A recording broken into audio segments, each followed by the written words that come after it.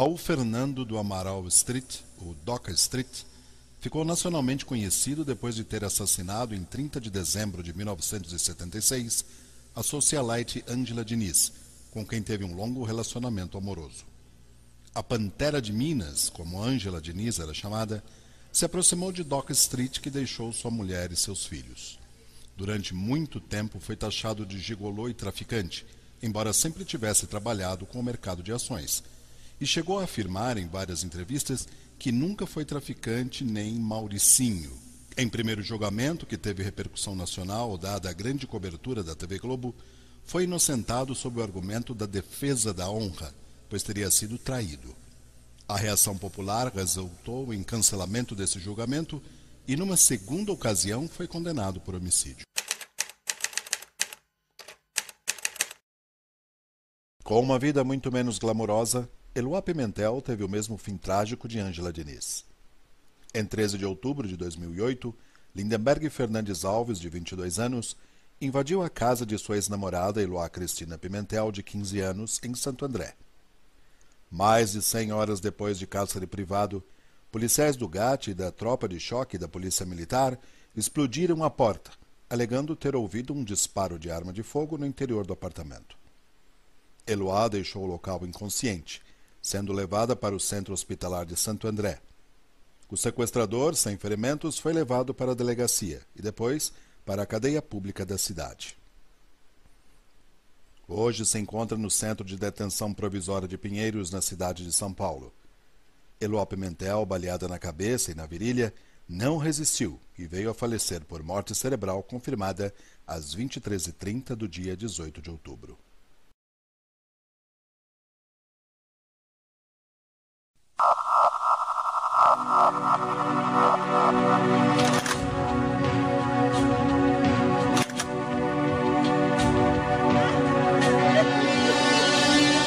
Aqui na região metropolitana de Belo Horizonte acaba de ser enterrada uma mulher assassinada pelo marido.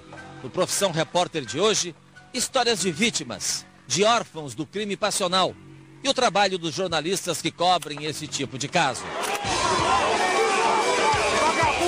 Nós podemos ir até aí? Miguel, Miguel. À frente, à frente, pô. A busca pela imagem de um crime de grande repercussão. Acaba de chegar no DHPP aqui de Belo Horizonte o goleiro Bruno. O fotógrafo que tirou mais de mil fotos do caso Bruno. Mais de 24 horas no ar, sem parar. Chegou, chegou, chegou, chegou. A morte sem manchetes no jornal. Aí começou a apedrejar ela, ela pegou, saiu correndo, saiu. Ele não matou, eu covarde. Aí vamos botar o homem desse da cadeia, doutor. Covarde. O julgamento de um crime passional. Mas por que você tá nervosa? Você nem conhecia ele até hoje de manhã. É a primeira vez que tô assistindo ao julgamento também. O caminho da reportagem até a sentença final. Mais uma mulher vítima de um homem ciumento e enfurecido. Uma cozinheira foi assassinada pelo ex-marido no meio da rua, na frente dos vizinhos e crianças. Débora Lopes, da tela! Muito sangue, muito, muita facada, entendeu? As cenas que eu vi ontem, não deixo pra ninguém. A mulher que prefere não mostrar o rosto não consegue esquecer aquilo que viu e ouviu. Foram para ela as últimas palavras ditas por Sergiana Barbosa Vieira. Aí ela fala assim, foi meu ex-marido. Por que, que ela fez isso? Porque ele quer voltar e eu não quero voltar para ele.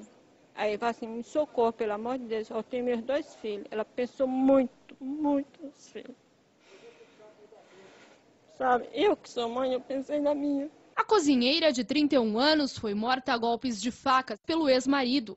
Oswaldo Alves de Oliveira, de 43 anos. Foram mais de 10 ferimentos por todo o corpo. Nas costas, na bunda dela, nos dedos, em todo lugar, sabe? Assim, horrorosa.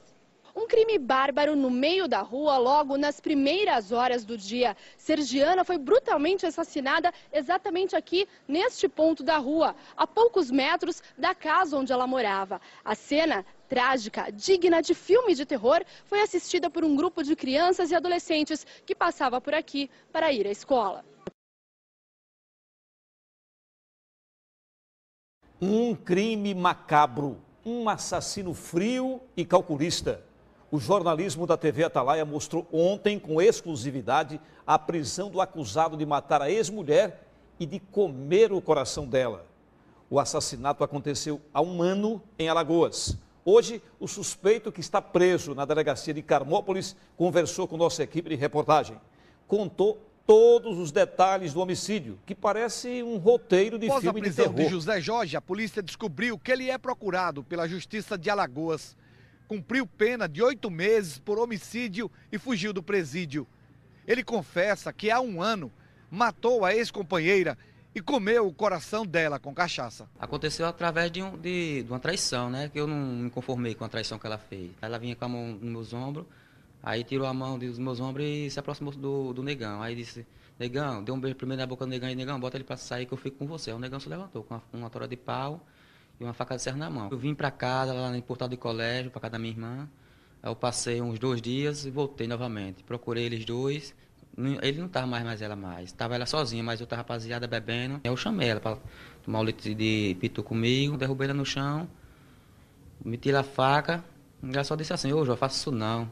Mas por que você não, não pensou antes de não acontecer isso? Aí eu meti a faca nela, abri a barriga dela e saí, abrindo, tirando tripa, rins, pulmões, até encontrar o coração dela. Deixei ela lá, derrubei a roupa que estava dentro da mochila de plástico, botei o coração dela e saí caminhando. Tô numa bolsa. Foi a mochila de plástico. Aí foi pra onde? Fui pra Palmeira dos Índios. Cheguei lá, mandei um colega meu assar, torrar no óleo. A gente comprou um litro de pitu, mas ele não comeu não, comeu foi só eu.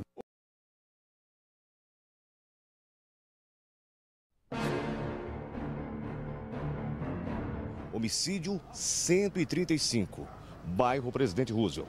Chegada da guarnição do 5 Batalhão de Bombeiros Militar para a prestação de socorro, mas as informações preliminares que obtemos aqui, que aproximadamente duas horas atrás, esta mulher foi assassinada com várias facadas. E os vizinhos e também amigos prestaram depoimentos à Polícia Militar, dizendo que poderia ser o Amásio, que esteve aqui nessa residência, brigou com a mulher e depois desferiu vários golpes de faca. Informações que nos chegam que ela está grávida de seis meses. Então, portanto, ela já está sem vida, uma gravidez de seis meses. Vejam só vocês como que choca as imagens. Foram desferidas vários golpes de faca, homicídio 135 na cidade de Uberlândia.